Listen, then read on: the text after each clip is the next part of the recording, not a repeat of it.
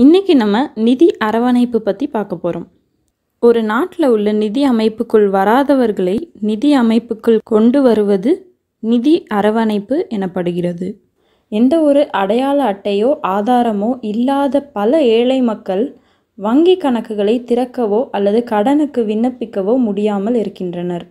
Pan Aadhaar card ஓட்டுநர் உரிமம் அல்லது தேர்தல் ஐடி இவை போன்ற ஆதாரங்களை பற்றி அறிவு இல்லாத கிராமப்புறத்தில் அல்லது பழங்குடி கிராமத்தில் வசிக்கும் பலர் உள்ளனர். எனவே அரசு அல்லது தனியார் நிறுவனங்கள் வழங்கும் பல சேவைகளை அவர்களால் பெற முடியாது. அரசாங்கத்தால் வழங்கப்படும் எந்த ஒரு மானியத்தையும் பெற முடியாது.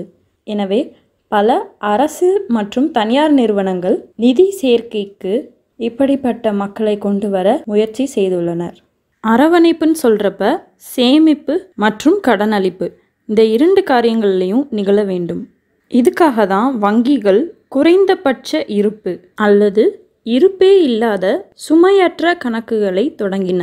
சுமையற்ற கணக்குனா என்னென்னா குறைந்தபட்ச இருப்பு இல்லாதது பயன்பாட்டிலே இல்லாத கணக்கு போன்ற காரணங்களுக்காக அபராதம் விதித்தல் கட்டணம் வசூலித்தல் போன்றவை இல்லாத வங்கி கணக்கு ஆகும்.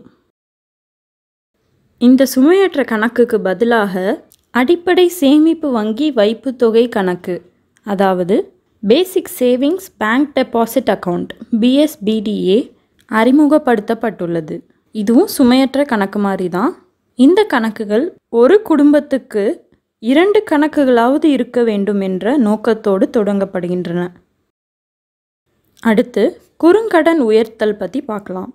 குறுங்கடன் அப்படின்னா என்னென்னா ஊரக பகுதியிலேயோ நகர மற்றும் நகர்ப்புற ஏழைகள் தங்களின் வருவாய் அளவையும் வாழ்க்கை தரத்தையும் உயர்த்தி கொள்ள உதவ மிக குறைந்த தொகையுடைய சேமிப்பு கடன் மற்றும் இதர நிதி சேவைகளையும் பொருட்களையும் வழங்குவது குறுங்கடன் என்று அழைக்கப்படும்.